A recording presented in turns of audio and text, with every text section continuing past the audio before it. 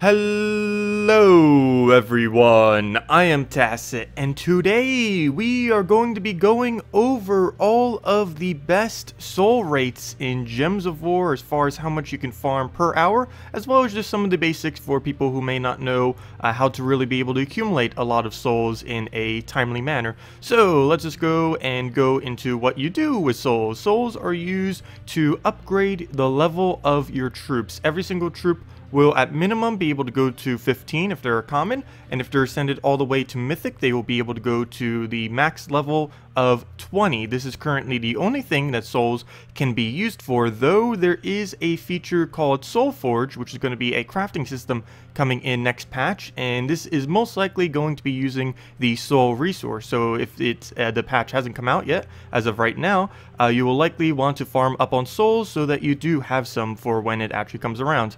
So what exactly is the bonus that will be able to increase this? We have a couple things that will be able to do this. By default, it is at 100%, so there's 175% that I am getting as extra. The first one that you can do if you go under your hero and have an armor is to use an armor. You can use either the Death Knight or Celestial armor for the max bonus. Uh, Death Knight armor costs $50, the Celestial armor costs 500 gems and can be obtained uh, as a free-to-play player, and the early game method, if you want to throw 50 gems at it, is the Assassin armor. You can completely skip this if you you wish, but if you are impatient and only have 50 gems and still want to be gaining a little bit extra souls, you can just go for this and uh, obtain it that way. To be able to buy these armors, you just go over to shop and go over to uh, armor. Uh, Assassin armor is right there for 50 gems, and Celestial armor is uh, right there for 500, and Death Knight armor is $50 under one of these things, probably like one of these. I don't exactly know uh, where it normally is, maybe under specials or something. Okay, and the last uh, little bit of that, the 75%, the other 75, if you go over to guild and then into guild, you're getting a maximum of 50% from your purple guild statue.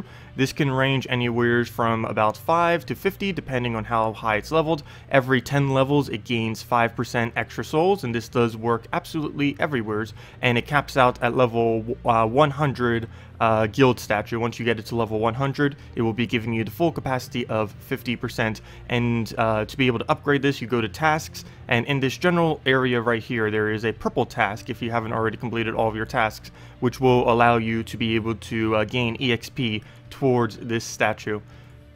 The last 25% is if we go over to VIP, uh, you do get uh, extra resources from VIP. I currently have a 25% from having VIP 4, I believe. This is $70, I believe, to have VIP 4, not quite sure.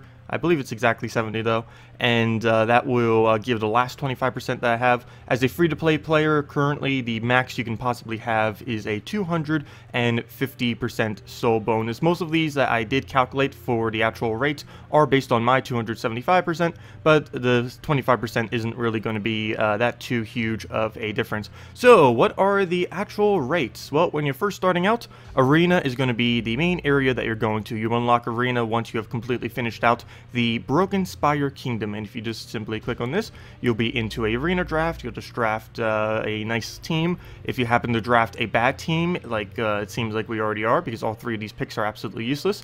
Uh, if you happen to draft a really, really bad team, all you simply have to do is just uh, retire it. Click the X, retire, yes, and then just click back.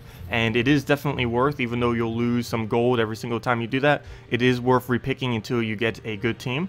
Uh, and once you have completed out the arena, assuming you do a perfect one run, you end up getting 1,200 souls. It may seem a little intimidating initially to be able to get all 8 battles, but it's actually relatively easy since all battles are against AI. It's, uh, once you kind of learn the game and understand the AI, it's uh, relatively easy to get the 8 wins. And uh, you can do this about 3 times per hour, almost 4 times per hour if you are uh, decent and happen to have a runic blade or some of the other weapons that work. But on average, you're going to be about uh, 3 per hour. When you're first starting out, it's about 2 per hour. Uh, when you're just a newer player, this will average around 3,000 souls uh, per hour. Uh, once you get Celestial Armor, which gives the 100% soul bonus, of course that would increase to about 6,000. Uh, one other thing to note that does increase it quite a bit if you happen to get a decent draft that isn't completely horrible Let's see, can we get a good blue? Can we get a good blue? And not a single good blue pick, fail. But uh, let's just pick whatever. Uh, but if you do get a good draft, you can go up to hard. This only makes the stats 10% higher on the enemy, which is basically none. But you end up getting a 25% extra soul bonus. And of course, that's going to be 300 extra souls every single time uh, you end up winning out the uh, arena, which is quite a uh, hefty amount uh, extra to be able to get. And of course, that would end up being around 900 to 1,000 extra souls per hour using that hard difficulty. But yeah, on average, as a newer player, it's uh, 3,000 right off the bat, then 6,000 once you get Celestial, and then uh, once you basically have the full setup for it, which doesn't take too long, uh, you would end up getting about a 10,000 soul rate. But this is by no means the best possible way. It's just when you first start off. The best possible way is to utilize challenge. There's two ways that you gain souls from challenge. The initial way is just the uh, kill out the challenges when they don't have any stars. This gives you a little bit of souls every single time. Uh, right here, we are going to uh, upgrade our difficulty. Generally, when doing the challenges for the first time, you want to do them on the highest possible difficulty that you can because there is a soul crate on each one that you can only get once. So I normally advise waiting until about Warlord 1 at the absolute earliest to uh, start uh, doing uh, mass amounts of uh, challenges, but you can do it pretty much uh, whenever if you so choose. Um, but doing it on uh, Warlord 2 or Warlord 3 would definitely help out quite a bit because they're only able to be done once every single one of these for their crate. As you'll see at the end of this, we're going to get a large crate of additional souls and give us our souls. And as you can see, we got 375 souls, or 350 if you didn't have the extra 25% uh, that we have. And uh, it's normally best to upgrade the difficulty when doing that.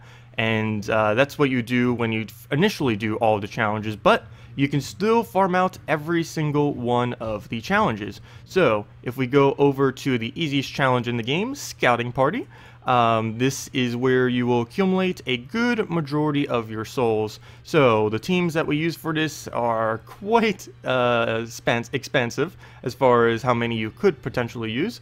Uh, but I will go with the absolute basic, most cheapest one, which is a Warlock, Warlock, Valkyrie, Warlock. You'll want to turn this down to normal or the highest difficulty that you can one-shot all of them. You may notice because there is a Ranger here, uh, he has 50%, so he's a bit harder to kill. If this is the case on any given week, you can go and find another kingdom. You can also do this if you happen to want to be farming a different trait stone at the time. But essentially what you want to be able to do is make sure your Warlock has enough damage to be able to one-shot all of these. One other thing that you should note is you it is 100% required to have the first trait on Necromancer. This gives you 50% extra souls per battle, and this does stack if you have multiple of them. So if you have three Warlocks, you're getting 150% extra. It is also highly advised to have the second trait, because this gives one extra magic for each blue ally, and since you will have three blue allies on your team, that will be three additional damage, and this will help make it so you can actually be able to one-shot them. For this particular challenge, you need 21. For the other one in uh, Divinion Fields, which is why it's the easiest one in the game, it only requires having a 19 max hit, though on a week that it has a bonus, of course, you will need a slightly higher max hit. So you either do it in any of the weakest challenges you can find. Divinion Fields normally is the easiest, but we'll do it for here for now. Uh, of course, lower your difficulty back down to normal or whatever you can one-shot it at. Of course, you do gain a little bit more souls than 20,000 per hour if you do buff it up beyond a... Um, beyond uh, just the standard uh, normalish uh, difficulty. So right off the bat, we are just going to completely ignore every skull on the entire board. We do not need skulls whatsoever, and of course it won't give us the mana here, but uh, all we're looking for right now is reds and yellows. That's all we need, and uh, we'll just keep swiping them off the board and then once we have our ability up we will then go and cast this to get all of our manas and at this point we are still going to want to get the Valkyrie up one more time. One other thing to note is it is good to have a Valkyrie that can almost gain you up to max souls in two casts. Uh, it will sometimes take you three casts. If it does take you three casts, the amount of each or the amount of souls that you get per hour will be around 15,000ish, mainly because that will slow you down uh, quite a bit having to go for the whole additional uh, cast off of the uh, Valkyrie. So we just basically let it do uh, whatever, throw a Valkyrie just to get the uh, max amount of souls, and then we just throw the little taps uh, wherever we want, just get the kills, and that will be the match as soon as he decides to stop getting a bunch of extra turns.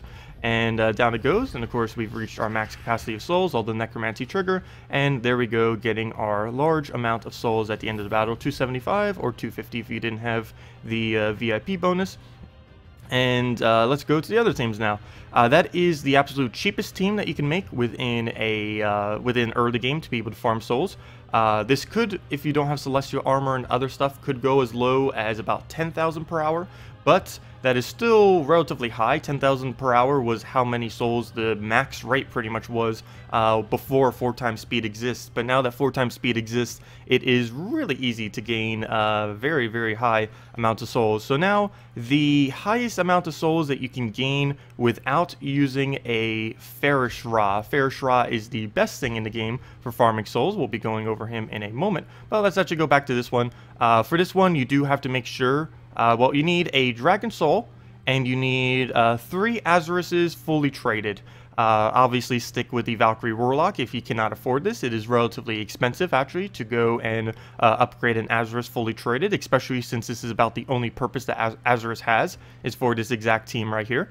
But uh, do make sure, whatever challenge you end up doing at any given week, depending on what the bonuses are, that you'll be able to kill out the team with 22 damage. Dragon Soul with no other dragons on the team will do 11 damage to all enemies every single cast. And you need to make sure that they have 22 or less uh, durability on them, or they will not be able to die.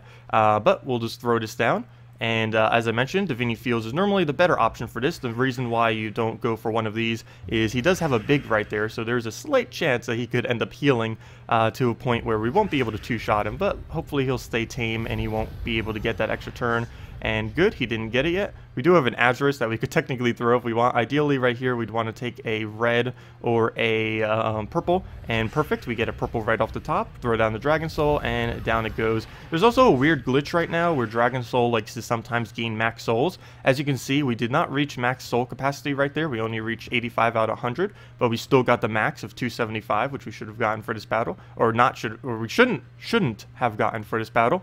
No clue why this happens, but this is one of the reasons why this is actually a 25,000 uh, rate right now. It would probably be more towards a 20,000 per hour rate, similar to the exact other team that we just used, if that glitch did not exist. But uh, generally, a Dragon Soul build, if you happen to have that, will be better than the Warlocks, uh, even if you happen to have it, mainly because your Valkyrie may have a much lower magic.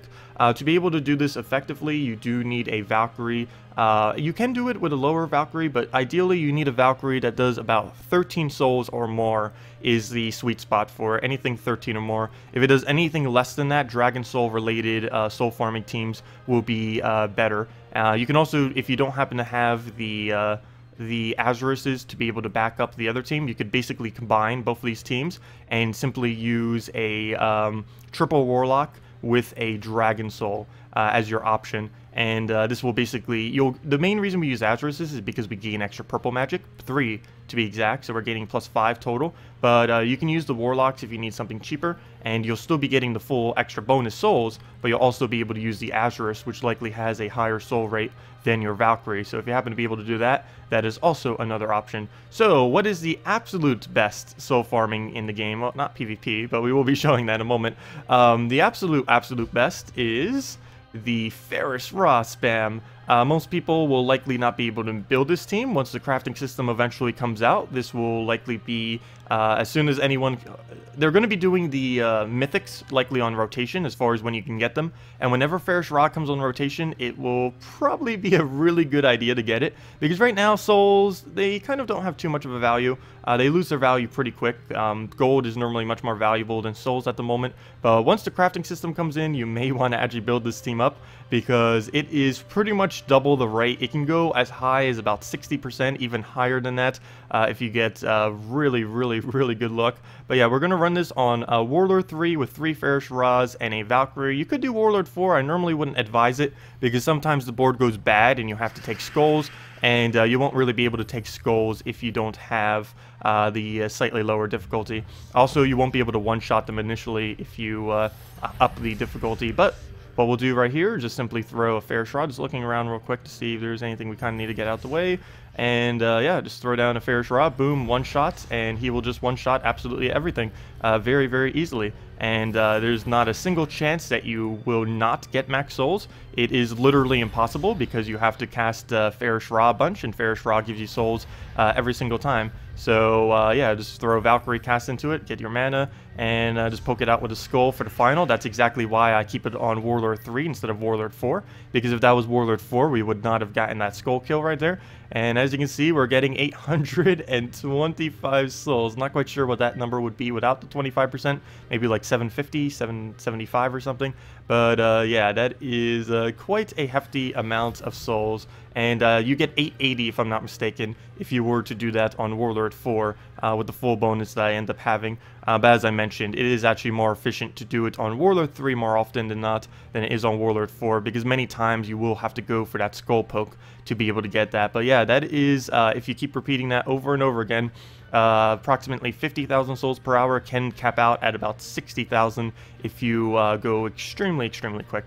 But there are some other aspects that you can do. Of course, there is the whole entirety of uh, PvP. There are a couple teams that you can do for this. I'm not actually going to go into any battles at the moment. Most of you have already seen many of these builds uh, before, but uh, Gorgotha, Christine X, Dragon Soul, Christine X, or literally anything with Christine X, Dragon Soul, or literally any team with a Dragon Soul, uh, can cap out at about 5,000, or it ranges from about 2,000 to 8,000 per hour as far as the souls. On average, it's about 5,000. Uh, it can vary quite a bit depending on what you're actually facing, what the meta is at the moment, and many, many other factors. PvP can be really random sometimes.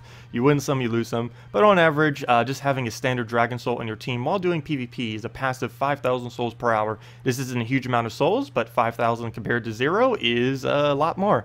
Uh, that is essentially infinite more since zero is zero. So it's always a good idea to have a soul farmer on your team. This has been a concept that has almost been persistent since the game has started, ever since like a couple months after the game was released, over two and a half years ago. It has always been good to have soul farming troops in your team. Uh, you can also simply put a Valkyrie in your team, and that will most likely be anywhere from one to or one or two thousand, even if you're a newer player, all the way up to things as about the same rate as this, about five thousand uh, per hour if you have the higher soul rate like what we have on our uh, Valkyrie. One thing I didn't mention, which I probably should, if you're wondering how I have so much extra magic, because this was something that people have mentioned in the past, I don't think I clarified as well the first time I ever made a soul farming video. But uh, if you go over to uh, Kingdoms, you might be wondering, like, wait, how do you have such a higher magic than, or how do I have such a higher magic than you? It's mainly because of Kingdoms. Uh, particularly the Magic Kingdoms, the kingdoms of Blighted Lands, Darkstone, uh, Zhul'Kari, Karakoth, and uh, Silverglade. All five of these kingdoms give you additional magic for upgrading them. There's uh, 10 total magic, 2 per kingdom that you can end up obtaining. Uh, the first one you get from leveling up, um, up to level 10. There's a button right here if you didn't already have it at max level that levels them up. And uh, once you reach level 10, you get one additional magic for all five of those kingdoms that I mentioned. But there's also a way to get even more. If you happen to get uh, five gold stars, you'll be able to uh, level them up to get another skill bonus, which of course gives you a second extra magic. Uh, the easiest way to level things up will actually come to you as you do soul farming, which is pretty nice. Uh, and that is leveling up troops gives a good majority of your points. You, as you can see here, if you look at every single one of these numbers for any kingdom, your levels will always be the largest ones out of all three of these. You gain some from uh, getting troops, you gain some from getting traits, but the grand majority of them will be from leveling them. And of course, what do you need for leveling them? Souls. So in passively gaining souls, you would also be increasing your capability to be able to farm souls by eventually upgrading uh, these kingdoms to 5 gold stars. So that's how I'm getting all that extra stats. Also just from ascending it to Mythic. But uh, that comes in obtaining cards uh, and then leveling them because their their level is capped at whatever they are. Like for example, a Valkyrie is a rare, so its normal uh, level that can go up to is 16. But as you ascend it all the way to Mythic, it can go as high as level 20, and it does gain some amount of magic in between that. Not quite sure the exact amount. I think it's like four or five. Uh, not quite sure, but it does gain some amount uh, within that margin. And of course, uh, finally, what is the best team to do in PvP, and I guess I could go do this, though for the sake of not being completely trolled, let's not do it against Pharos-Ra. Oh, come on. Not Sion either. Uh, something that's not Sion or Pharos-Ra. Okay, that's just as bad. No. Please, people. Uh, Spirit Fox, that's just as bad too, but we'll do it. Okay, but uh, what is the best one for PvP? We have this one. It's just the exact same thing that's the best team in the game for soul farming. Um, if you don't have the Pharos-Ras, I honestly just suggest that you stick with any kind of Dragon Soul related team. Uh, that is the best if you don't have Pharos-Ras. Also, one thing to note that I didn't mention about this other team, which is the best that you can do, you can replace out Pharos-Ras for more Warlocks instead. Uh, every single Pharos-Ra, I'm not quite sure on the exact amount, but having another Pharos-Ra is approximately an additional 10,000 souls per hour. It's quite a huge, huge, huge margin, uh, but it is about an extra 10,000 per hour per Pharos-Ra that you uh, add to your team. But you can uh, replace it out for Warlocks and just go for a partial bonus instead of the full bonus. Of course, you need them fully traded to be able to get that uh, final bonus, though. I don't think I actually showed that, but that was kind of implied. But uh, on his final trait right there, Necromaster, you do need that. That gains 150% soul gain. It's the highest soul gain uh, bonus that you can get in the entire game, and it will likely always be the highest that you'll ever have is on the Pharos-Ra. But uh, doing this in PvP is about 20,000. This is almost like a third of what the absolute best rate is with this team. Generally, you wouldn't really run this in PvP, but if you truly want to still gain PvP related stuff while gaining souls, this would theoretically be the absolute best thing that you can use. Uh, I'm pretty sure these Spirit Fox are going to be ridiculously annoying, and yes, they are going to destroy our uh, our Valkyrie. So for the sake for the sake of this, let me just dodge. And can we get something that won't completely troll us? Sure, let's go with this. Though he does have pretty high stats, but this is a Pharos-Ra team after all. And one thing good about a Pharos-Ra team is we do have the capability to one-shot. And as you can see from that previous battle, this team is pretty inconsistent in PvP, which is why you never see me ever using it on streams and stuff like that. Uh, it's not really that viable to use in PvP unless there's a current week where one-shotting is actually really effective and there's not really many counters out. This week there's quite a bit of counters because of all the Spirit Fox and stuff. Spirit Foxes in particular uh, basically deny out our Valkyrie completely so we can't end up doing anything. And of course standard counters like Scion, Famine, stuff like that are also pretty annoying for this team due to the fact that it uses such a gigantic uh, first slot mana. So right here you can see that we basically have no option for our blues until those purples. Ideally we don't want to uh, do this on purple or on yellow. Those are the two colors that we kind of want to uh, keep on the board, but if you absolutely have to, it is worth uh, doing it. So right here, we will go for a green, clear out a lot of the board. Still don't really have any redone alignment due to uh, what we just did the previous turn, but we'll start poking down. Uh, we'll go for the biggest threat, which is him doing a mass barrier onto his team, and uh, then we just keep poking from there. So uh, let's go and get rid of the entangle in case we want to use skulls for whatever reason, in case the battle does come to that. looks like one of our Pharos-Ras die. Oh, one other thing to mention. Uh, Pharos-Ra's effect does still apply, uh, the same as anything that has Necromancy or anything like that. Still applies even if it does die, so you don't really need to worry about any of your troops dying, uh, except for maybe the Valkyrie. Valkyrie is kind of important to not die because that will speed up the battle quite a bit. Um, but yeah, that's that, and even though we still uh, kill, got killed on a troop there, that is still the full amount. It might look like a little bit lower than before, but you have to keep in mind that the difficulty setting is not applied in PvP. But uh, yeah, that is still the uh, full amount, even though we lost our uh, one fair Ra there. Um, and that is basically everything you need to know with soul farming. Uh, that's pretty much all the basics, as well as some of the more advanced stuff. If you still have any questions about it, definitely still leave all the questions. There are definitely other teams other than what I just showed.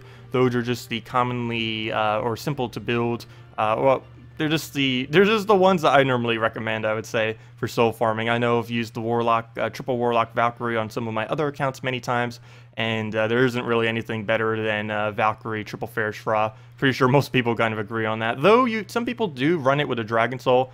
Uh, I personally don't. I find Val Valkyrie to be a bit better with it. But uh, yeah, that is everything. Still have questions? Leave them all in the comment section below, and I'll go and uh, answer all of them. Thank you all so, so much for watching, and have a wonderful day.